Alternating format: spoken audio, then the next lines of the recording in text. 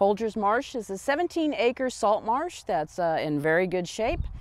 Salt marshes have a freshwater input and that's exactly where we're at.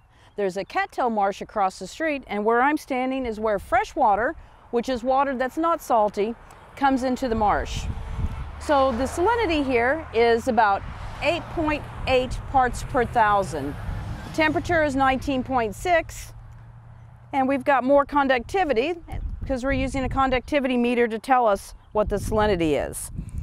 All salt marshes have what's called, or most salt marshes have what's called a um, salt wedge, which is salt water that creeps up along the bottom and fresh water that floats along on the top. So fresh water comes from rivers and streams, floats along the top of a saltier wedge that's coming in from the ocean.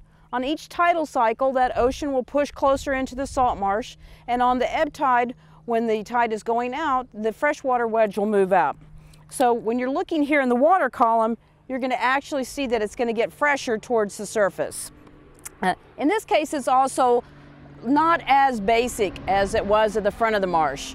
We have about 6.5 pH, where we had closer to 7.3 pH uh, at the very front of the marsh near where the ocean is. And our salinity here at the very surface is right at zero. If I lower it through the water column, we're going to have a salinity of about 8.9. And now I'm going to switch to my dissolved oxygen meter and we can look and see what the dissolved oxygen concentration is. You might see too that toward this part of the salt marsh we have more cattails and we'll talk a little bit more about that here in a moment. So right here, I've got 5.3 to 4.4 parts per thousand. So this is very fresh water. Creatures that live here are gonna be very different than they're gonna be at the ocean side of the salt marsh. Salt marshes in this case are like an estuary where they've got fresh water at the one end and salt water at the other end. So let's see what our dissolved oxygen meter says. This is measuring the amount of oxygen that's in the water. This end of the salt marsh is going to be lots more oxygenated than the ocean end, we don't have as many anaerobic creatures. We've got more aerobic creatures, creatures that need oxygen to live. So this is a lot more fresh water that's coming in off of rivers and streams. It's going to be mixed up. It's going to have oxygen entrained into it.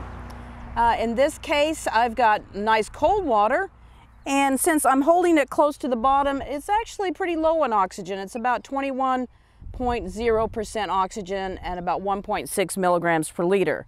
A lot of that has to do with the primary productivity and all of the decaying matter that you see me standing in. This, all of this excess material is from the several storms we've had this winter, which has spread all of this eelgrass and cattails and decaying matter here. That's all decaying and it's taking up oxygen as it decays. So hopefully you'll understand that salt marshes are a combination of fresh water coming into salt water where every day a battle is fought between the uh, harbor of the sea and the freshwater streams.